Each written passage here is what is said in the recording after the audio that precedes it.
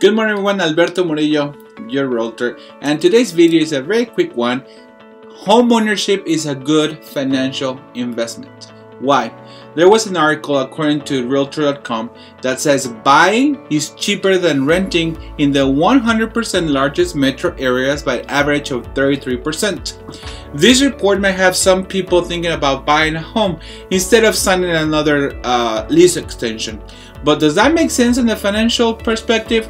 Let's see. Owning a home is one of the most common household built long-term wealth. It's an act like four savings accounts. Instead of paying your landlord or paying somebody else's mortgage, you can pay yourself in the long run through paying down the mortgage on a home. Okay?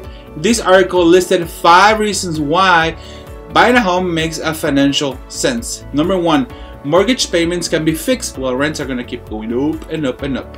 Number two, equity in your home can be a financial resource later. The equity is gold. Number three, you can build wealth without paying capital gains. Number four, a mortgage can act as a forced savings account. And number five, overall homeowners can enjoy greater wealth than renters.